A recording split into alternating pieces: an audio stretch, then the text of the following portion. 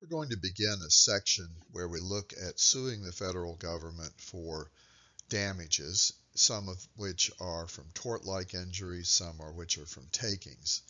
This is different than the usual look at suing the government in administrative law, which focuses on injunctions and other processes to stop agency action or to force agency action.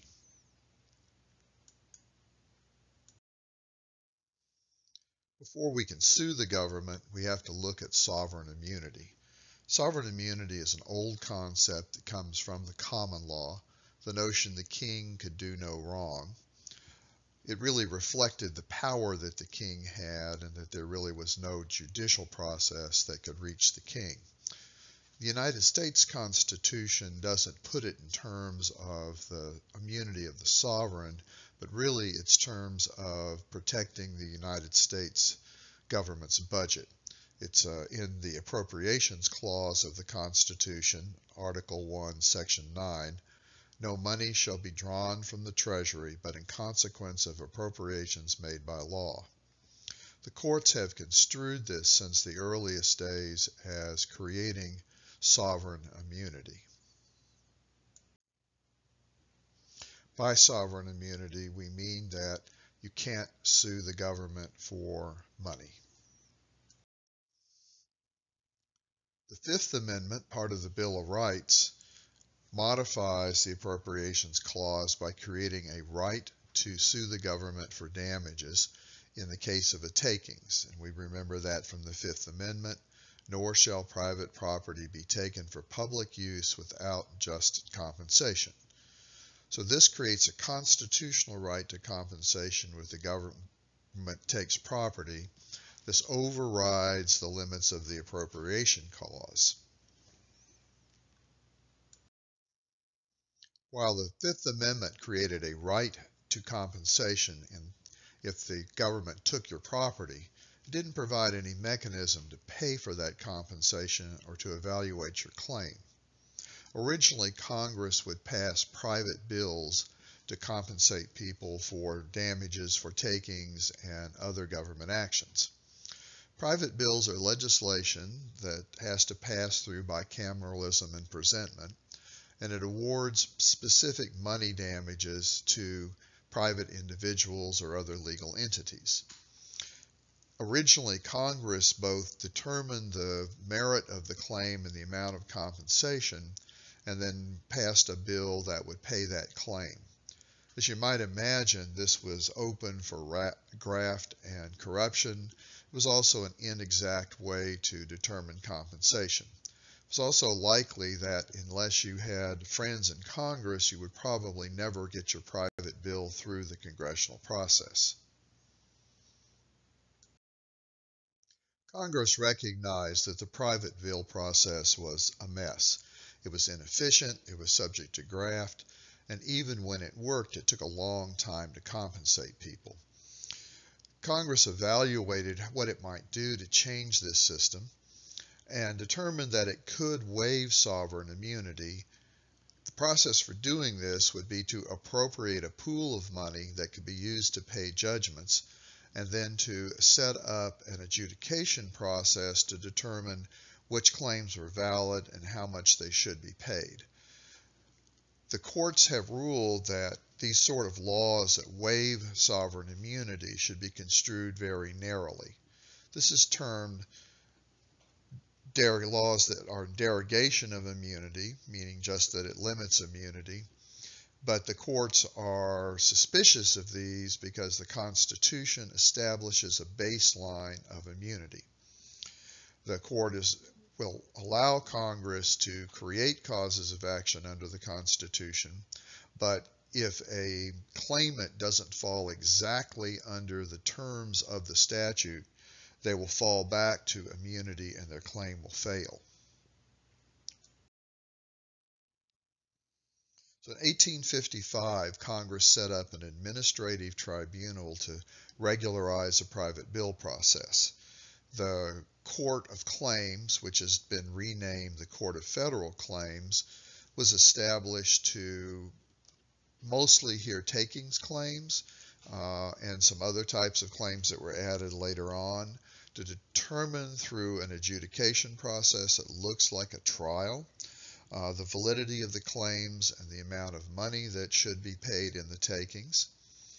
The Court of Claims, now the federal, the Court of Federal Claims, is not an Article 3 court. It's an Article 1 court. It's like a bankruptcy court.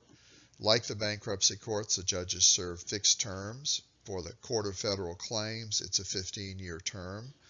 Um, the status of the court was tested in early litigation over Congress's ability to lower the salary of the judges during their term.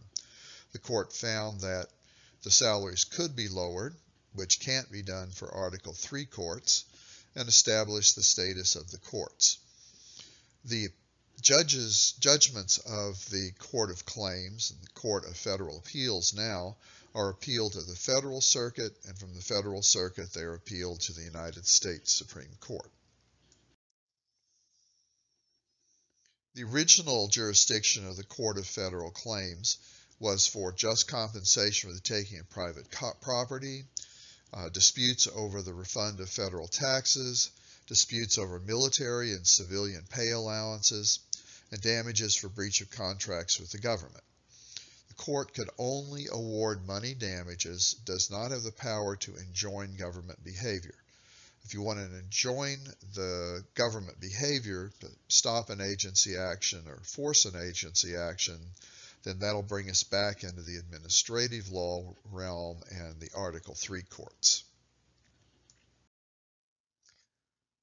Scholars have attacked sovereign immunity for a very long time. This attack comes from both the right and the left, and it is based on the concern that the government should not have the unlimited power to injure its citizens and not be answerable to the courts for that. The traditional policy rationale for sovereign immunity is the need for the government to be able to make hard decisions. An example of this is conscription, for military service, which has been upheld by the courts. As we'll see later on with the litigation over the Federal Tort Claims Act, that the government can even do actions which it knows will injure citizens or put them at risk and still be accorded sovereign immunity. The jurisprudential rationale is separation of powers. The legislature really should be able to make the decisions on what are appropriate policies and powers for the federal government carried out through the executive branch and determine the legal the financial liability of the government. This should not be left to the courts. The Court of Federal Claims was designed to deal primarily with takings plus the salary disputes, the tax refunds, and essentially contract, contract issues with the federal government. It did not include any compensation for negligent or intentional tort injuries. The takings clause itself does not include accidents to property. So if a postal service truck runs into your car and totals it, that's not considered a taking, although you might argue that the government has destroyed your property the taking must be an intentional part of a government policy. Now, if the government policy uh, and projects such as a flood control project results in your house being flooded because it's behind the spillway of a new dam or in a new river channel, then while the government may not have intended to take your property, it has effectively taken it through its policy measures and that can be a taking. There is also some jurisprudence that temporary damage to property can constitute a taking of at least some of the value of the property. These are very limited exceptions. In general, you can't turn a tort claim into a taking claim by bringing it into the Court of Federal Claims.